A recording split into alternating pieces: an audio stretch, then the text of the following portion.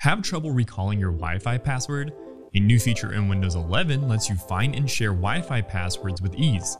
We'll cover how to enable this setting as we sit down and sync up with Rocket IT's weekly technology update.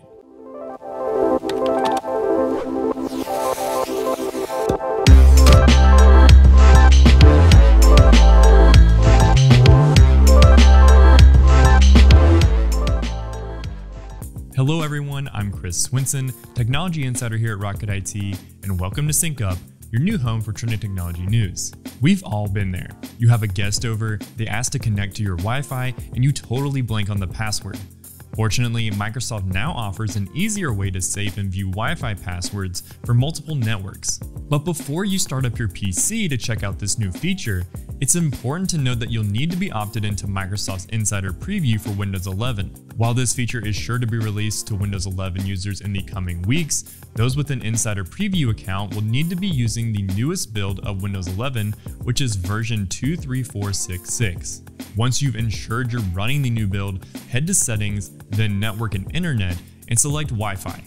After you have that setting window open, click Manage Known Networks and select a saved SSID to view its Wi-Fi security key. Prior to this update, if you wanted to check the password of the network you're connected to, you'd have to dive into the wireless device properties of Windows 11.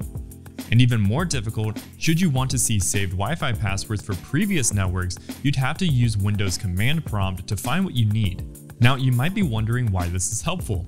For those individuals that keep the default password on their router, it ensures you're not constantly having to pull it out and dust it off to read the password that's on the back of the router every time a guest comes over. Additionally, it also means you're not writing your network password down on a piece of paper and leaving it around for anyone to find. Because, as we all know, writing a password of any kind down is a common mistake that can easily lead to a breach. Finally, if you're an organization that's constantly setting up new PCs for your team, it was previously a very tedious task to regularly check your network settings and apply them to the new devices, but with this update, it makes it just a little bit easier. So, for those organizational leaders that want to enable this feature but don't know if their PC is part of Microsoft's Insider Preview program, it's best to check with your IT provider for more details.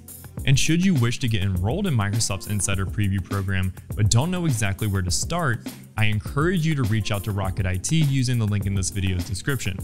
In the meantime, to stay up to date on trending technology news, hit that subscribe button and the bell to catch us on next week's episode of Sync Up with Rocket IT.